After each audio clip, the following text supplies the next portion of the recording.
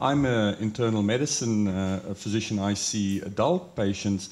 Um, but as Torsten referred to, um, you know, the only kids I talk to are my own, so I will also refer heavily to my series of n equals 3 uh, during this talk. Um, you know, because that sort of fits in with the surgical mantra as well, you know, in my experience. But I think what I've learned um, by working with Torsten was actually listening to patients and what we can learn um, by, by clinical observation, but then taking that clinical observation into the lab, into the animal house, and then back into the clinic to actually do the translational approach. I'm going to show you some of those insights that we've gained um, by specifically questioning, you know, the physiology of weight gain and weight loss. And I'm going to make no excuses for the fact that I come from a very biological approach to this problem. And I'm going to try and, and, and, illustrate that with some examples.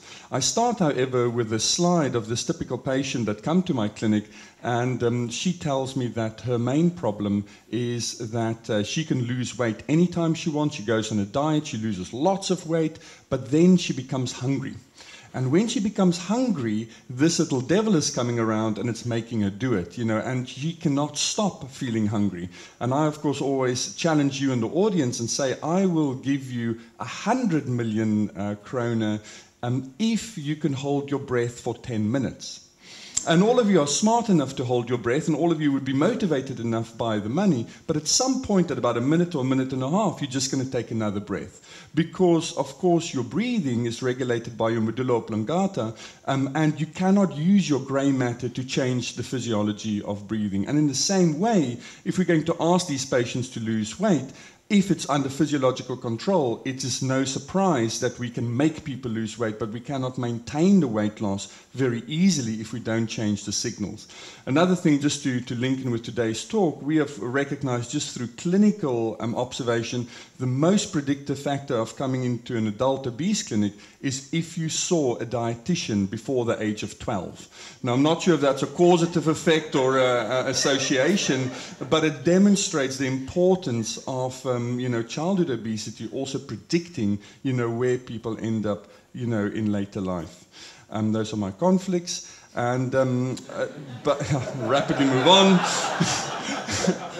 but uh, um, suffice to say that we're interested in the shift that happened in the population, and although the shift is actually quite minor when we look at the median BMI, certainly what we are seeing is we're seeing this tail uh, this right, uh, this right, this right tail of morbidly obese patients, patients that really struggle um, because of their very heavy weights. Um, this is Swedish data dating back to 1976 to remind us um, you know, and this is, you know, for those of us um, like me who thought initially that if we just ban McDonald's, we're going to save the world. Uh, it probably is not going to work out because of the Swedish data in 1976, where they actually took dizygotic twins that were um, separate, even when they look at those that were separated at birth and, and raised in the north of Sweden, in the south, or the east and the west. And when re- you reunite the, the dizygotic twins, they've got different heights and different body mass indexes, like you and your siblings vary. However, if they got monozygotic twins that were raised in completely different parts in Sweden in completely different environments, when they reunited them, unsurprisingly, they had the same hair color, they had the same height, but they also had the same body mass index.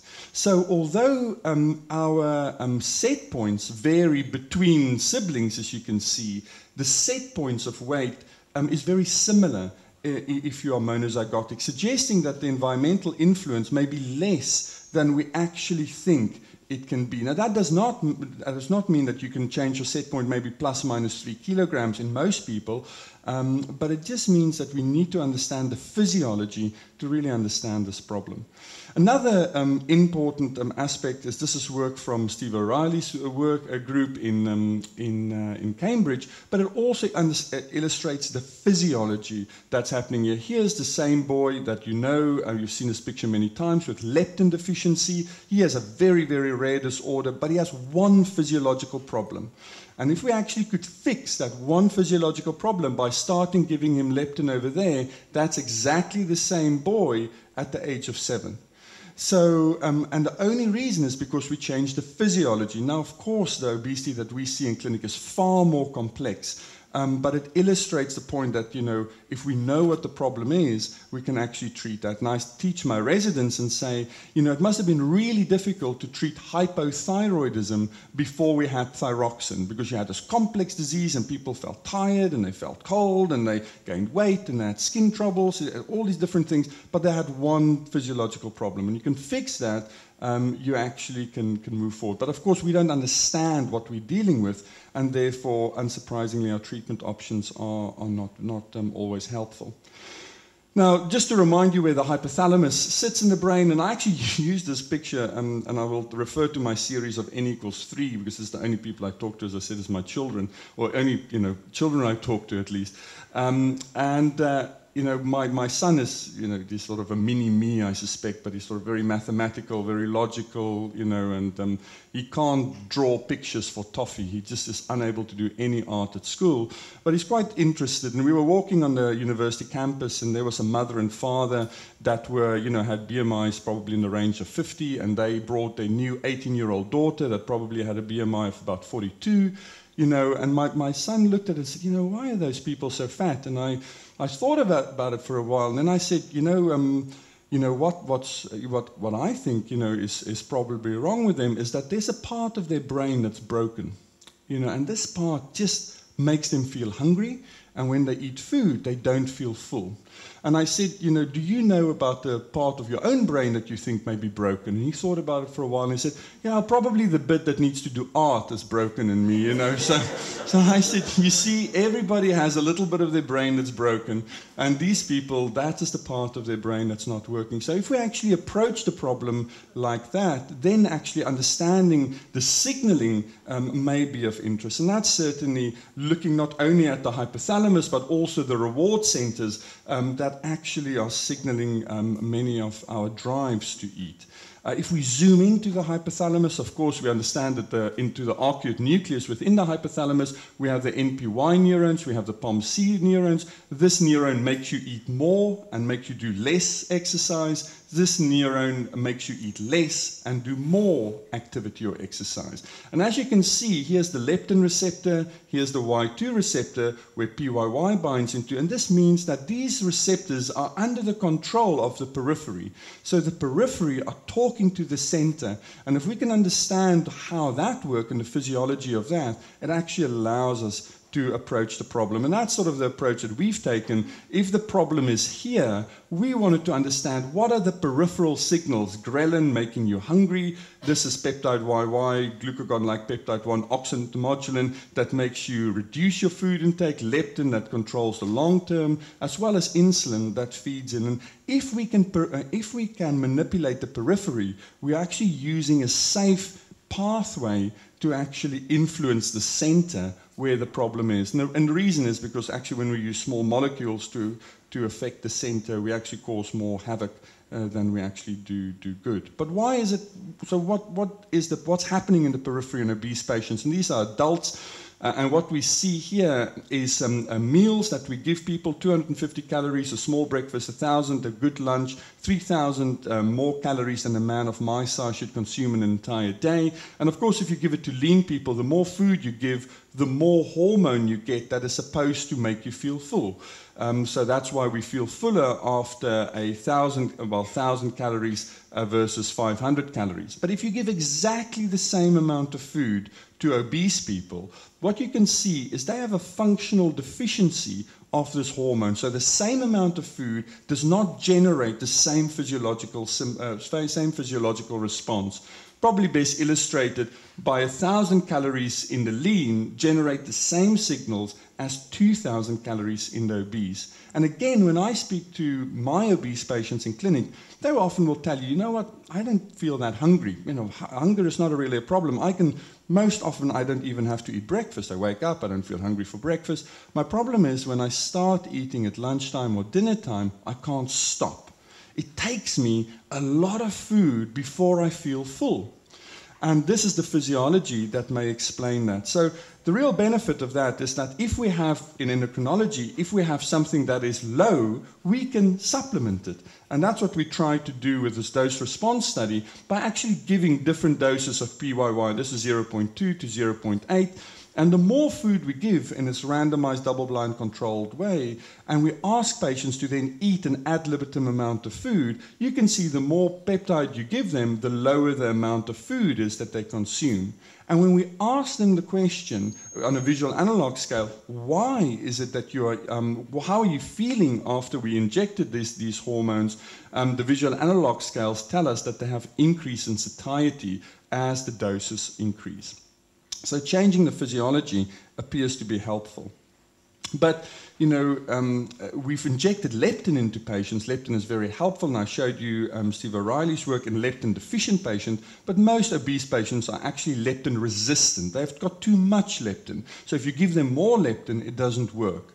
But here we have a hormonal system where we have a deficiency.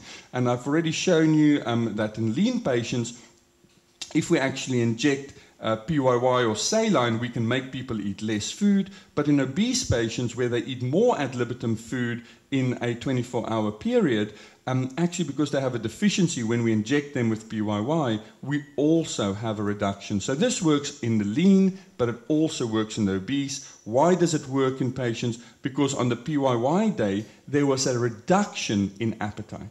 So physiologically, we've affected a system, and therefore the behavior comes naturally to people. They don't have to think about, oh, I have to be very good, I don't have to eat this or that. You know, they are just acting because of their, um, what Torsten refers to as their signals that we've been able to alter. And where do these signals work? This is a, um, a GLP-1, another gut hormone that actually, and when we use functional MRI, what we can actually see is that injecting these hormones in the periphery actually changes the brain. It changes the reward centers in the brain and therefore is consistent with what the behavior. So, just to remind you of the story, if you change the periphery, you have the effects in the brain, you actually can change the behavior. If you actually start by trying to change the behavior without affecting the brain, without affecting the periphery, life is a thousand times harder, um, uh, as has been illustrated many times. Um, finally, we also talked about energy expenditure, and uh, you will remember that I talked about the arcuate nucleus, NPY, making you eat more, do less activity, POMC, making you eat less, do more activity. So the same system controls energy in and energy out. And this is another gut hormone, oxyntomodulin, that was, uh, this was work done by Katie Wynne, in our in our lab uh, uh, when we were at Imperial, uh, together with, with, Steve Bloom as the principal investigator. Um, but what you can see here is um, actually when we measure total daily um, energy expenditure. Um, on the days when people received oxyntomodulin, there was an increase in energy expenditure. So not only did they eat less food, they also had an increase in energy expenditure because we were able to change the signals that come from the periphery. So, of course, as an internal medicine doctor, what I want to understand is how do we affect the center um, by using the periphery um, to actually ultimately change food intake and energy expenditure. And that's why, you know, I'm so excited um, about the uh, impact of surgery. Um, and, and we'll talk about that a little bit later. But, um, you know, I, I always say to Torsten, you know, the surgeons um, found the answer without understanding the question.